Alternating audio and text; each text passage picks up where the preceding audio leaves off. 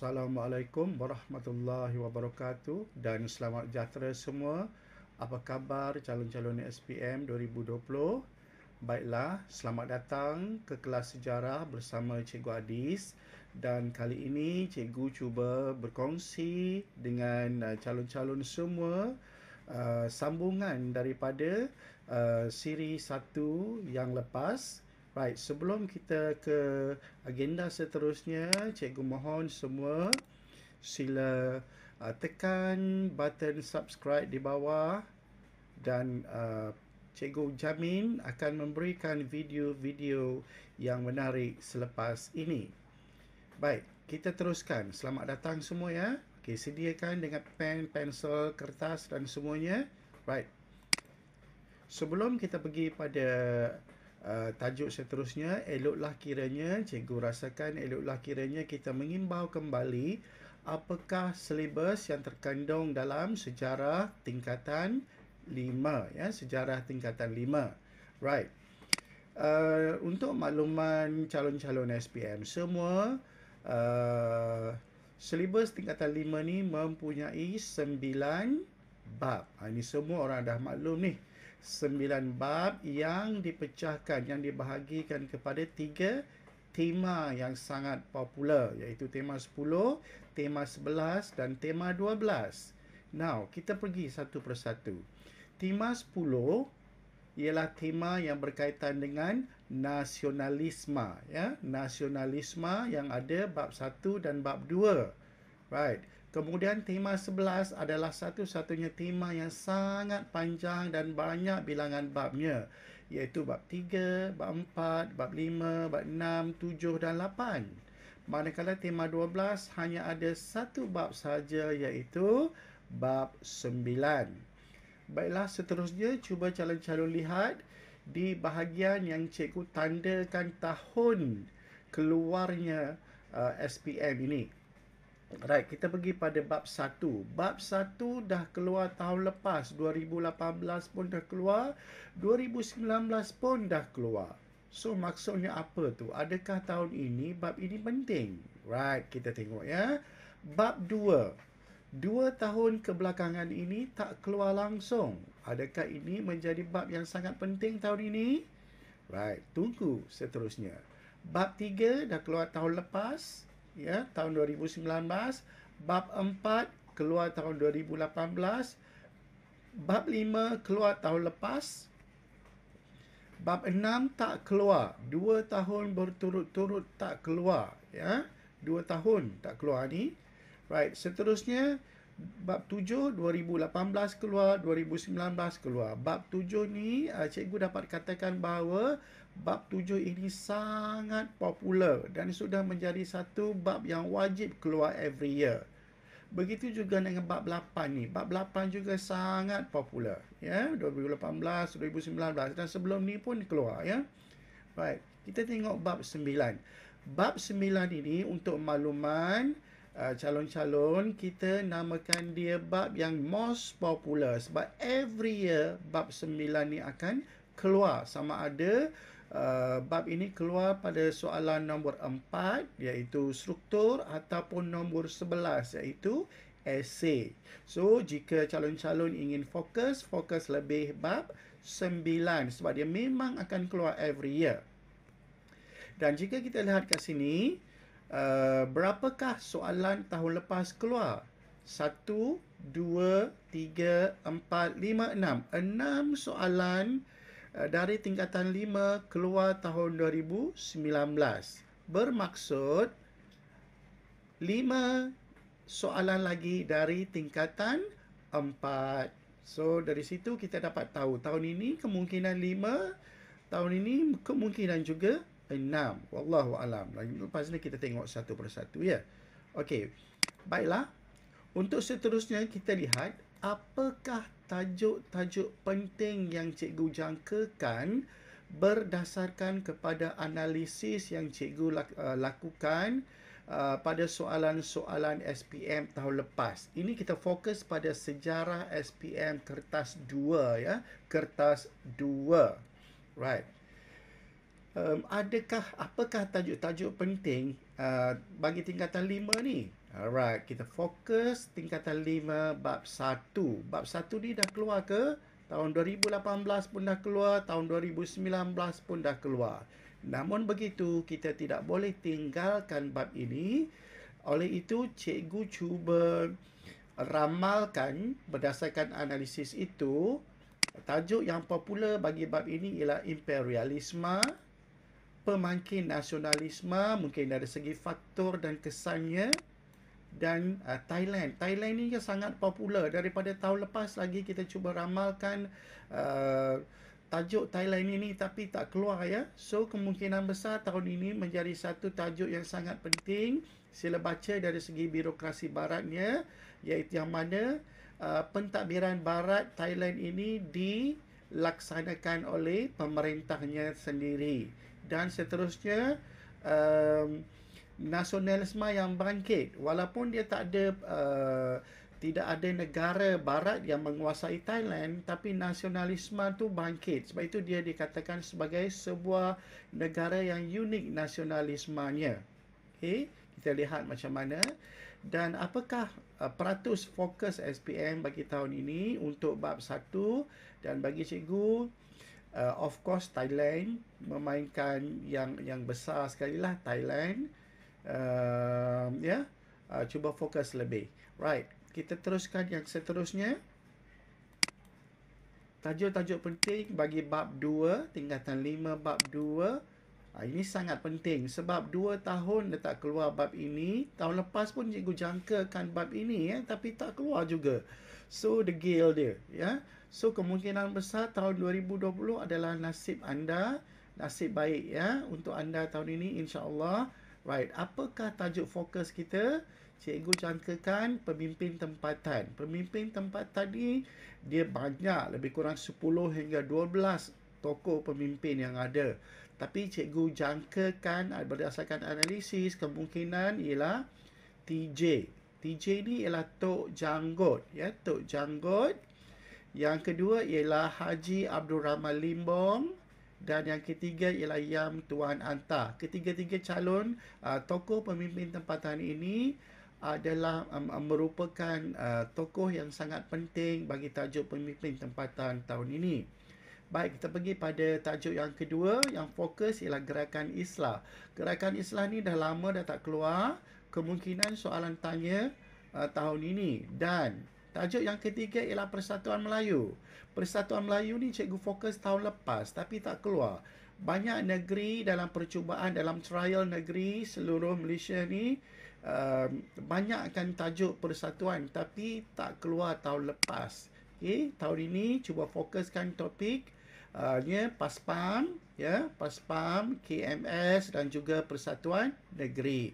Tiga topik ini sangat penting dalam persatuan Melayu. Baik.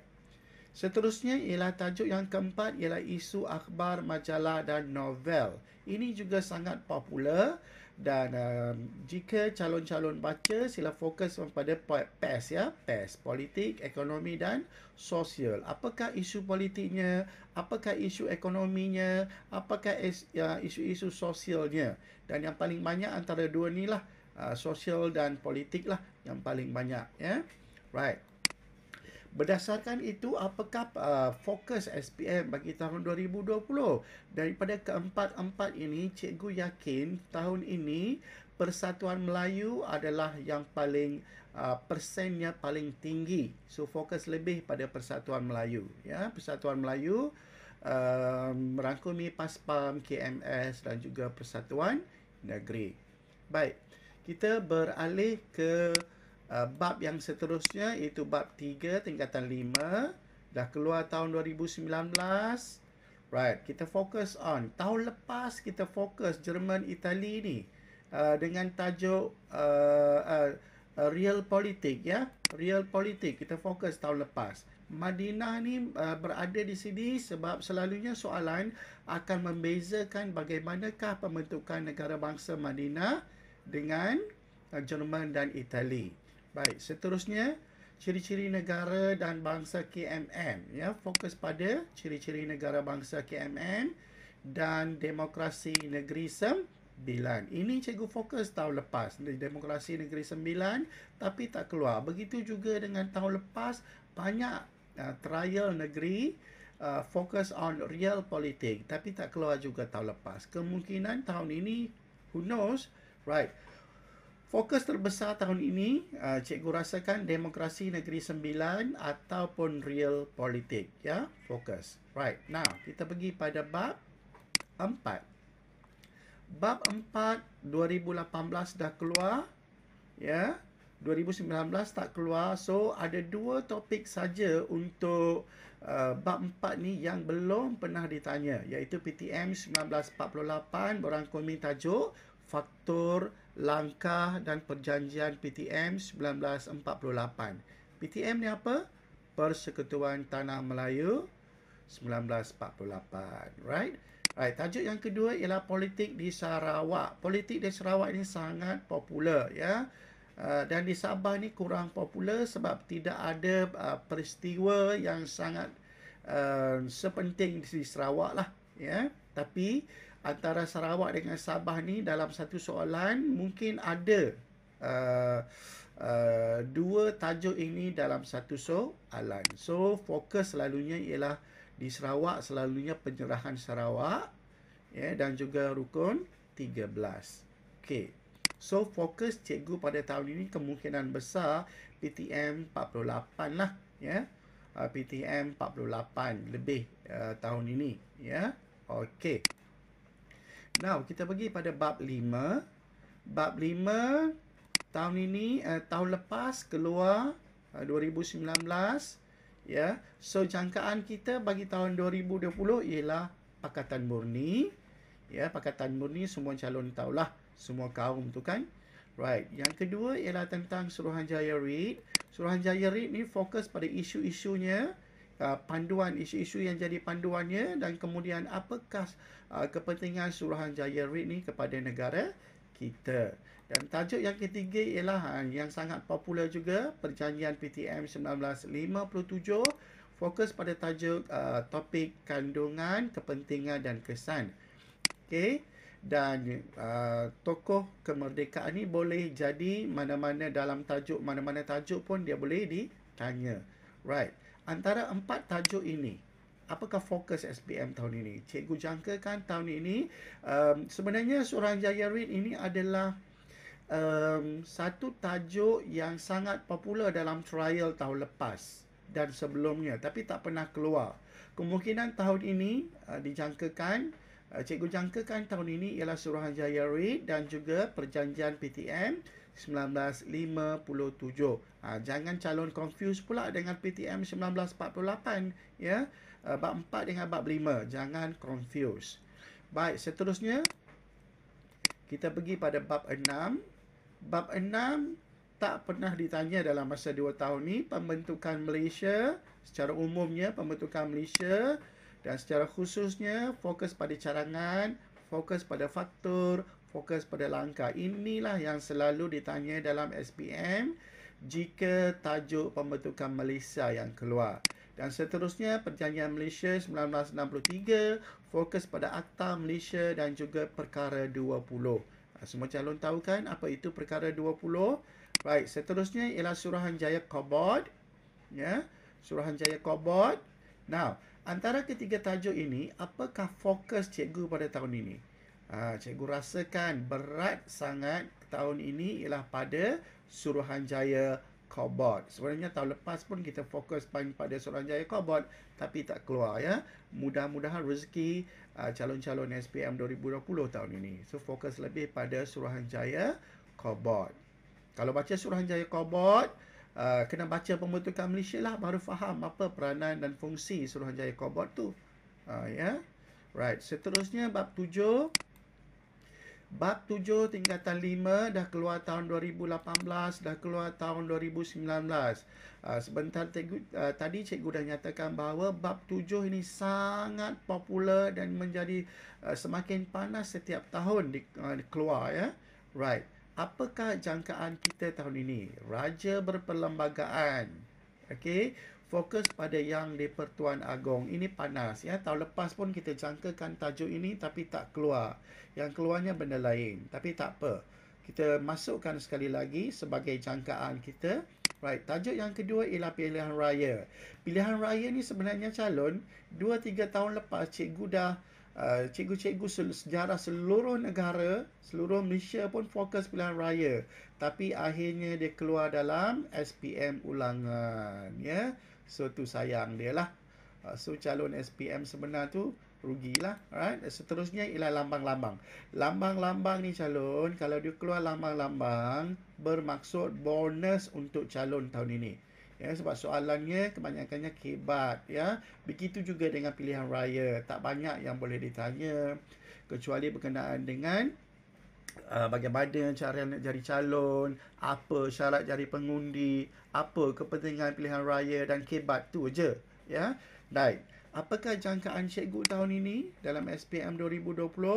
Jangkaan yang paling besar cikgu ialah Raja Berperlembagaan iaitu fokus pada yang di Pertuan Agong. Uh, kan tahun ini uh, Agong kita sangat popular kan tahun ini. So uh, bagi cikgu ya kemungkinan besar Raja uh, Berperlembagaan yang di Pertuan Agong. Okay, next kita pergi pada bab yang terakhir dalam tema 11 iaitu bab 8. Adakah dia dah keluar tahun lepas?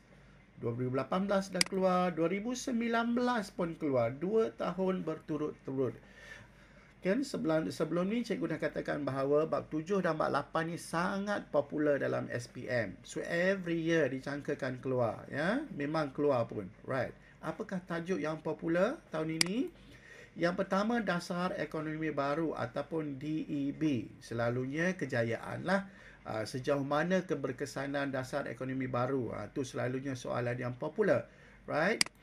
Yang kedua ialah dasar pertanian negara dasar, pertanian negara. Ini adalah dasar pembangunan sosial ya. Dasar dasar pembangunan ekonomi, sorry. Dasar pembangunan ekonomi yang pertama ialah dasar pertanian negara, yang kedua penswastaan dan yang ketiga ialah pensyarikatan. So ketiga-tiga tajuk ini adalah di bawah satu uh, tajuk yang besar iaitu dasar pembangunan ekonomi. Hanya cikgu cangkakan tahun ini tiga tajuk ini yang sangat popular, right? Seterusnya kita jangkakan dari segi pembangunan, cikgu jangkakan uh, akta bahasa dan juga rukun negara. Rukun negara sebelum ni dah keluar ya. Um, tiga tahun lepas ya. Tapi uh, bukan khusus. Dia keluar secara umum begitu saja ya. So, uh, tajuk ini, akta bahasa dan juga rukun negara ini sangat mudah untuk dijawab sebab ia uh, mengkhusus kepada soalan-soalan uh, laras kebat ya. Uh, kemahiran berfikir. Daripada so tahun ini kemungkinan besarlah uh, tajuk-tajuk dasar ekonomi baru yang ditanya. Dasar ekonomi baru ni banyak ya. So uh, fokus cikgu lebih kepada tahap kedua iaitu tahun 1970 ke atas ya. Dasar ekonomi baru uh, tahap kedua. Right. Seterusnya kita pergi pada bab yang terakhir tema yang terakhir. Oh, fokus cikgu, cikgu dah bagi tahu tadi ya. Fokus kita ialah dasar ekonomi baru tahap ke dua, iaitu tahun 1970 ke atas. Right. Now, kita pergi pada tema sem, uh, tema 12 iaitu bab 9 yang dah keluar 2018 pun keluar 2019 pun dah keluar sejak tahun berapa keluar every year sebab dia hanyalah satu-satu bab yang ada dalam tema 12 dan cikgu dah maklumkan sebelum ini kemungkinan uh, bab ini akan ditanya sama ada soalan nombor 4 atau nombor 11. Now, apakah tajuk popular dalam bab 9? Kita teruskan. Ini uh, penting ni tahun ini ya. Penting. Every year penting bab 9. Now, blok dunia dan perang dingin. Ya, blok dunia plus perang dingin. Uh, cikgu gabungkan dua tajuk ini kerana uh, kemungkinan uh, besar uh, dua tajuk ini boleh jadi satu soalan ya. Sebab perang dingin itu adalah kesan daripada berlakunya blok dunia ya. Perang dingin juga uh, kesan kepada blok dunia dan sebagainya ya. Alright. So, seterusnya tajuk yang kedua ialah dasar luar Malaysia. Dasar luar Malaysia ini adalah adalah satu tajuk yang cikgu jangkakan tahun lepas. Uh, dalam trial negeri pun kita jangkakan dasar luar Malaysia tapi dia lihat nak keluar. So kita letakkan sekali lagi tahun tahun ini. Hopefully dia akan keluar tahun ini. Right. Seterusnya ialah pertubuhan antarabangsa. Kita fokuskan kepada OIC dan juga Commonwealth kita fokuskan juga pertubuhan antara uh, serantau kita fokuskan kepada ASEAN ya. So antara uh, keempat-empat tajuk ini yang manakah yang sangat popular bagi cikgu? Cikgu letakkan standard ialah dasar luar Malaysia. Okay, dasar luar Malaysia. Kemudian OIC memang kita fokus juga. Commonwealth pun kita fokus juga untuk tahun ini. Um, So, itu saja tajuk-tajuk yang um, cikgu anggarkan. Uh, boleh membantu uh, calon-calon SPM 2020-2021 dan uh, semoga channel uh, Cikgu Adis channel ini kelas uh, sejarah Cikgu Adis ini juga uh, mampu membantu calon-calon mengulang kaji ya mengulang kaji pelajaran. So sebelum cikgu berakhiri Uh, sekali lagi uh, ingat sejarah, ingat Cikgu Adis, ingat sejarah, ingat Cikgu Adis. Jangan lupa subscribe Cikgu Adis channel kerana Cikgu Adis berjanji untuk menampilkan tajuk-tajuk yang panas untuk membantu calon ya. Untuk uh, video seterusnya Cikgu uh, sedang uh, menyediakan bagaimanakah cara untuk menguasai fakta sejarah dengan mudah melalui kaedah 1T5F. Ha, untuk mengetahui apakah itu kaedah 1T5F, kita jumpa next videos. Jangan lupa subscribe. See you. So, jumpa lagi. Bye-bye.